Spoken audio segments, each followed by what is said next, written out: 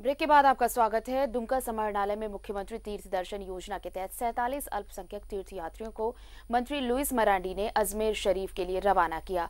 मंत्री लुइस मरांडी ने तीर्थ यात्रियों से भरी बस को हरी झंडी दिखाकर रवाना किया। दुमका से पहली बार अल्पसंख्यक समुदाय के लोगों को उनके पवित्र तीर्थ स्थल अजमेर शरीफ का जत्था भेजा गया। इस मौके पर मंत्री लुइस मरांडी ने कहा कि बीजेपी जो बोलती है, वो करती है। सरकार हर दिशा में काम कर रही है दर्शन में वहाँ जाए। हमारे सभी समाज के लोग लगभग लगभग जा चुके हैं। आज अल्पसंख्यक समाज, जो मुस्लिम समाज है, उस समाज के लोग अजमेर शरीफ के लिए रवाना हो गए हैं। अभी हम लोगों ने झंडा दिखाया, हरी झंडी दिखाया।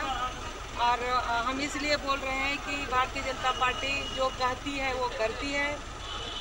सबका साथ, सबका विकास, सबका विश्वास।